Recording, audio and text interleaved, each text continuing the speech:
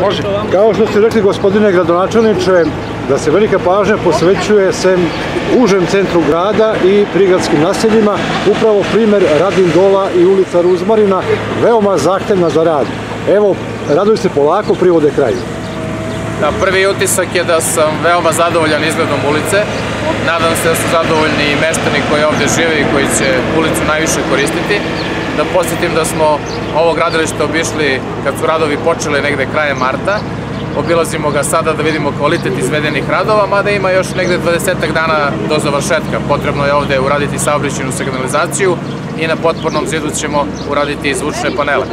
Ovo je bilo dosta zahtevno gradilište, negde oko 220 metara samo potpornog zida je urađeno, potporni zid koji je sprečio dalje klizanje terena i ulice, potpuno novi asfalt, urađena je nova vodovodna mreža i u glavnoj ulici Ruzmorina i u bočnim ulicama i ovde će, kao što sam i rekao, biti još neke sitnice kao što je saobraćena signalizacija, zvučni paneli i tako dalje. Nadam se da ćemo, kada bude gotova potpuna ulica, još jednom doći ovde da vidimo kako je finiširano.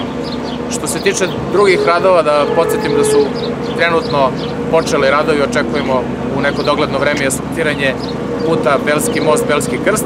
Da podsjetim da smo to jednu deonicu uradili prošle godine i obećali da ćemo da nastavimo. Sad sam ovde sreo jednog radnika koji mi je baš rekao da nisu verovali u obećanja da ćemo nastaviti put ka Gostuši E, ali to je još jedan dokaz i potvrda da ono što obećamo e, i uradimo, dakle trudimo se da ne dajemo obećanja koje ne možemo da ispunimo.